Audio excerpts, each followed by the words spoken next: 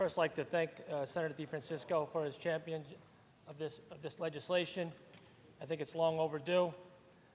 As my colleagues have said, I believe the vast, vast, vast majority of prosecutors are good, honest, hardworking people in the state of New York. But there are some bad apples. Uh, I talk about Suffolk County, where I'm from.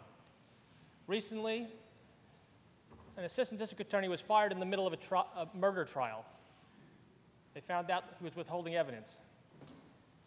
Come to find out, he had five other murder trials, which the cases were dismissed. I'm not talking about speeding tickets, murder trials. Five murder cases dismissed because of the misconduct of this assistant district attorney.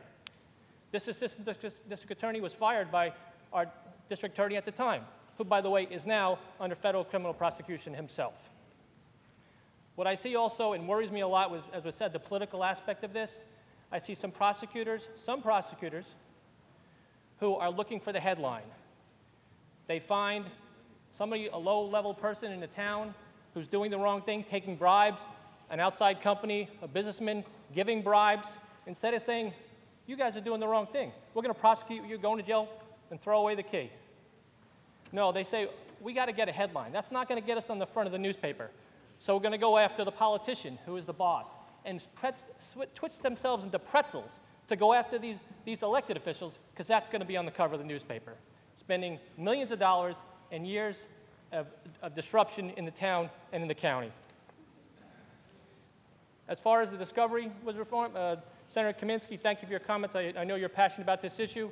Mentioned discovery reform as a way of uh, modifying this or helping this situation. Well, that's funny because earlier this year I was uh, visited by district attorneys who are against discovery reform. Uh, that may not be the answer that we're going to get across the finish line. We all agree we need to do the right thing and fix the system. It does have flaws. The vast majority are good prosecutors. We got to root out the evil ones. And I would quote Martin Luther King An injustice anywhere is a threat to justice everywhere. I strongly support this bill and vote aye.